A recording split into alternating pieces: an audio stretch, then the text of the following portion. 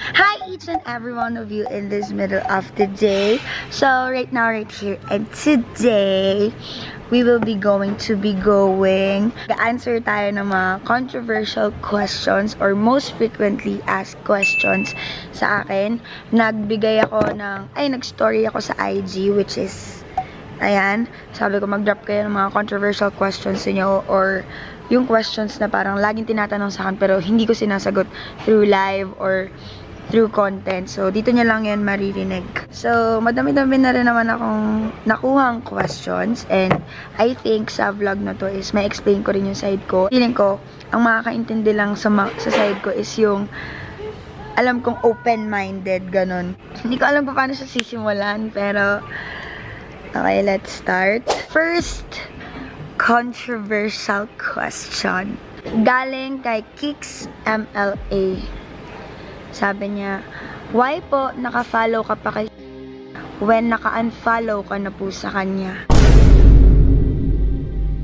So, ayun, nagulat na lang din ako nung one time na may nag-send sa akin ng screenshot or siguro fan siya ng Seedlin before na naka-unfollow na ako kay Sid. Ganon. Saka nagulat din ako kasi alam ko sobrang goods kami ni Sid or hindi ko alam kung napindot niya lang or pero ayun, ako naman naiintindihan ko naman if ever kasi syempre babae din naman ako, ikaw din naman ba?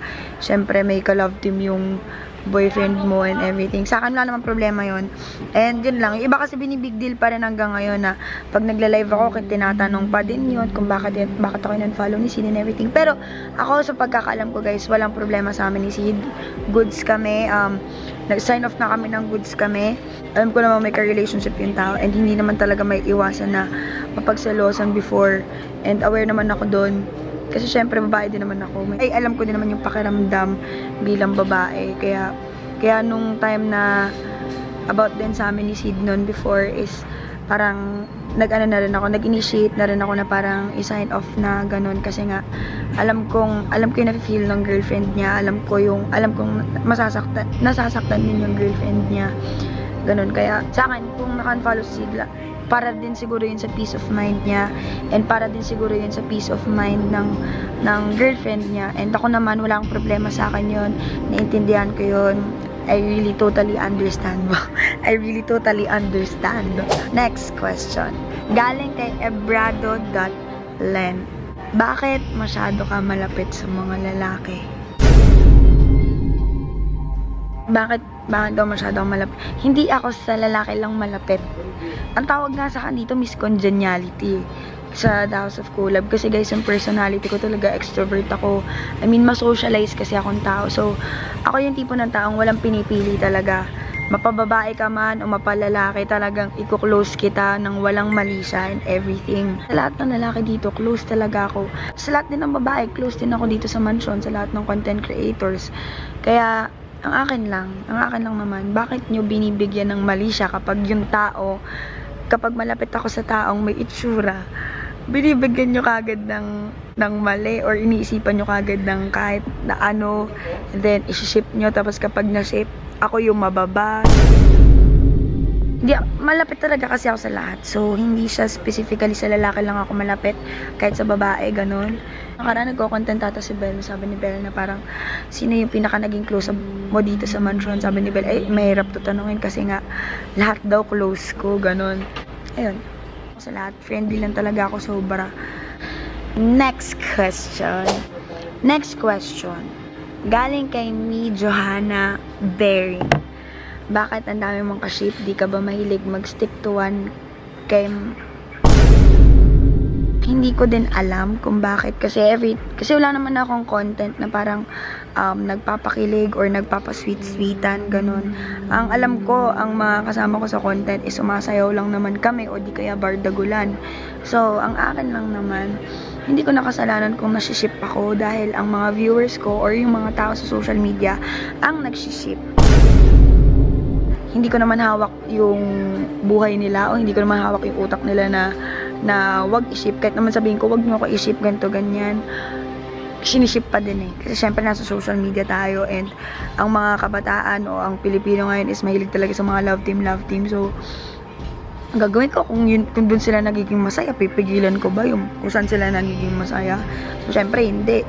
So, ayun naman. Akin naman, hindi ko naman kasalanan kung nasiship ako and hindi ko naman din kasalanan kung bawat kakulab ko sa mga first song sa mga people is siniship ng mga tao. So, hindi ko rin alam kung bakit. Next question. Galing kay Angel LHVS. Nag-uusap pa po ba kayo ni Mati like nag-uusap po ng hindi related sa work? Hindi. Ah, ano, talagang pag nag-uusap kami ni Mati, siguro sa GC, ganon, kasi talent ko nga siya.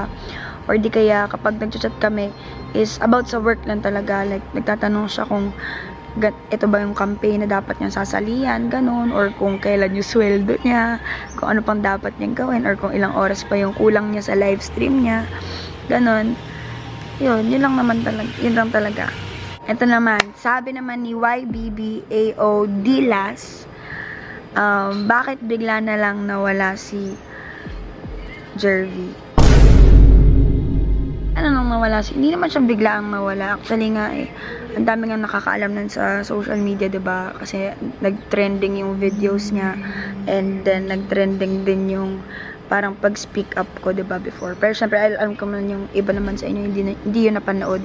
Pero ayun, siguro, ayoko na lang ikumpos to, pero ayun, may mga bagay talaga na akala natin perfect na, akala natin goods na tayo doon, akala natin ano na tayo doon, parang stable na tayo doon. Mahirap pag ganun eh, na binigay mo na doon lahat, ganun. Pero may mga bagay na hinahanap-hanapan talaga yung iba. And ako naman, binibigyan ko ng chance yung mga taong ganun. Pero kapag kasi inulit pa ulit, yung, I mean, kapag sinayang mo pa ulit yung chance na binigay ko sa'yo, um, there's no turning back, yun na yun. Ayun. Pero ako naman, nothing against kay Jervs naman na ngayon kasi humingi man siya na sorry o hindi na patawad ko naman na siya and I'm hoping um, the best for him. I mean, magagandang bagay para sa kanya kasi alam kong madami siyang parang naging problema na kung yun yung nagiging reason kung bakit siya ganun ngayon. Pero ayun, I'm praying for you and sana makita mo na yung right path na para sa'yo. And wag mong babaliwalain yung mga taong nandyan para sa'yo. Okay. Okay, next. Um, ano na-feel mo nung naglapat lips nyo ni Matt during sack and blow? Sabi ni Dotty Dot underscore one. Hindi ko alam. Kasi parang syempre, ano lang naman, nagiging sports lang din naman kami doon. Wala, eh, game yun eh.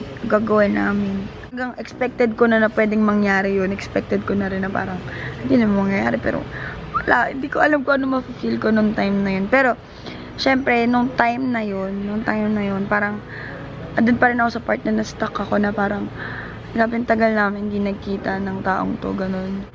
Di ba nga, nasabi na, nasabi na din namin, namin yun sa live before na parang, yun nga na naging greatest love namin yung isa't isa, ganun. So, grabe yung napagdaanan namin. Kasi parang alam ko kasi sobrang dami ng pagdaanan namin ni Mati. And then parang, alam mo yun, after a year, nagkita kami, ganun. So, hindi ko rin talaga alam yung feel ko nun. Pero, mabuti din na parang nagkaroon kami ng magandang um, relationship ngayon, which is parang, ano kami, um, casual na lang, ganun, na parang magkakalala kami, na, na may pinagsamahan kami, ganun, na parang wala nang galit, ganun, wala nang, wala nang inis, wala nang, wala nang bakas ng nakaraan, ganun, alam niyo yun. Pero, ayan, happy ako sa kung anong meron kami ni, ano ngayon, ni Matilok na parang goods kami, ganun. Kasi, ayokong nabubuhay ng, ng may kagalit o may ano. Kasi ako naman, kasi kapag may mga nagawa ako sa tao, talagang, namin ko naman yung mali ko. Eh, ayun, hindi naman kasi ako yung tao na parang kapag mali ko, um,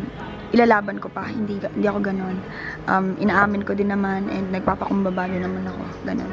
And yun, masaya naman ako sa kung anong meron sa Kim Pim Pares. Next question. Galing kay CM Lels no. So, bakit ang bait mo sa lahat kahit di mo kahit na alam mo, di mo alam ang mga ugali nila? Ano ngayon? Ngayon, nakikita ko na na parang yung may mga bagay talaga na parte talaga ng pag-grow up. Ganun, alam niyo yun guys. Na parang, may mga tao talaga, alam niyo yun, yung sinasabi nilang people come and go. Totoo pala talaga yun. Yung mga taong nandyan lang, saglit, para magpakilala sa'yo. It's either magiging mabuti sa'yo or ibebetray ka. Ang personality ko ganun talaga. Tulad nga sabi ko, ang personality ko ganun talaga, friendly talaga ako. Wala akong pinipiling tao. Kung minarinig ako sa'yo na masama ka sa ibang tao, sa akin hindi ka magiging masama. Pero kasi ako yung tipo ng tao na kapag narinig ko masama ka na sa ibang tao, bibigyan ka ng chance. Kasi malay mo, ganun ka sa taong yun, pero sa akin hindi. So, bakit, bakit kita susungitan o bakit kita hindi papansinin kung mabait naman yung pakikitungo mo sa akin. Kasi ako naman guys, ang pakikitungo ko sa tao is nakadepende sa kung paano din nila ako pakitunguan. Ganun. Pero usually talaga, kahit masama ugali mo, talagang pakitunguan pa rin kita ng maayos. Next question is from It's Me underscore Angel Daos. May pag-asa pa bang mabalik ang Matlin? Nasagot na naman to ni Mati sa FNC, di ba? Na sa kanya 60-40, sa akin 70-30. Hindi siguro higher chance. And ako kasi, ayoko nang guluhin si ano, ayoko nang guluhin si Matt ngayon or parang nakikita ko kasing okay kaming dalawa ganun sa kung anong meron kami ngayon and masaya na talaga ako sa kung anong meron kami ngayon and alam ko din si Matt nakafocus siya sa studies niya and ewan ko ba kung may balak ko jowa yun. Pero ayun masaya naman ako sa kung anong um, anong relationship namin ngayon. Natalip ko siya. Ganun na natutulungan ko rin siya when it comes sa sa life niya ngayon kasi nga Siyempre, 'di ba? Ang laking tulong din ng Kumu talaga sa totoo lang. And yun guys, mga gustong maging talent ko dyan, PM nyo lang ako. okay, galing naman, ito din, most frequently asked question din to talaga sa akin. Um, galing kay underscore Chad J. Um, gusto ko lang tanong ngayon what happened sa Celine Dior. Um, ngayon kasi guys, ano kasi parang nag-usap naman kami ni ano ni Dior nung nakaraan. Um, nag nag-chat din naman kami nung nakaraan. Ganon, nabisita niya rin ako sa kondo ko. Um, ayun, siguro kasi ngayon sobrang busy lang din kami. May iba siyang pinagkakaabalahan, may iba din akong pinagkakaabalahan. Ganon.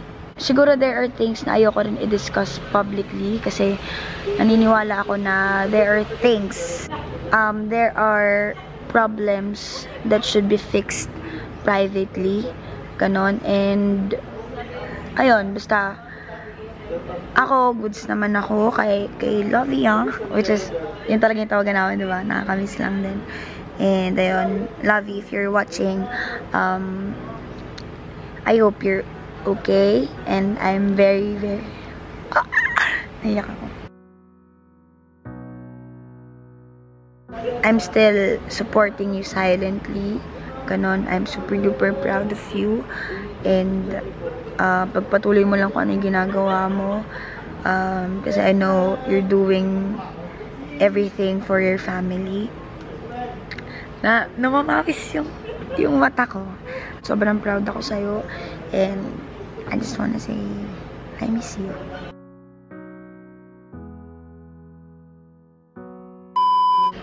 Last question from Ate Chris Chris. Um, may chance. Kasi sa ano ka IG story ko, sa IG story ko, walang ibang questions doon kundi puro si Roro. Pero ito, last question. May chance ba si Roro? Ang sa akin naman kasi ako, nagsabi na ako kay Roro. Um, nagsabi na ako kay Roro. Sabi ko, um, kung ano yung, kung ano yung parang nafe-feel ko towards him. Alam ko, alam niya na rin naman yun kung anong balak ko this season kasi nagsabi ako sa kanya na um, ano ako eh, Magic 12, ganyan. Gusto ko mag-focus sa Kim Kim. Hindi na kasi ako dapat yung magsabi nun eh. Pero ayun, naging clear naman na ako. Ganon. So, kung ano gusto ko mangyari ngayon hindi ko, I mean, hindi ko wala si Roro. Si Roro is parang ano din siya, parang isa sa naging malapit din naman sa akin. At yun, may mga bagay din kasi na hindi nakikita ng tao, na napapakita niya lang sa aming mga close niya, ganun. And, yun lang din, nag, par, yun lang din naman na parang naiintindihan ko rin yung side niya kung saan din siya nanggagaling naiintindihan ko rin yung side kung saan din nanggagaling yung mga yung mga people na malalapit sa akin or mga people na na naapektuhan niya sa past niya. Ganon. So, ang akin naman, nagiging neutral lang ako. Wala naman ako kinakampihan. And, naintindihan ko naman both sides and everything. Pero, ayun. And ayun, doon na nagtatapos ang ating vlog for today. Thank you, thank you so much for watching. And um, drop lang kayo sa comment section below kung ano pang gusto nyo vlog nyong makita ko or kung sino pang gusto nyo makasama ko sa vlog. And ayun, thank you guys for watching. And sana manood pa kayo sa mga next vlogs ko and panoorin nyo na yung mga past vlogs ko. And don't forget to click the bell button para updated na kayo. Hindi ko na kayo kailangan i-update pa sa Instagram na may bago akong vlog. And ayun, don't forget to like, comment, share, and subscribe.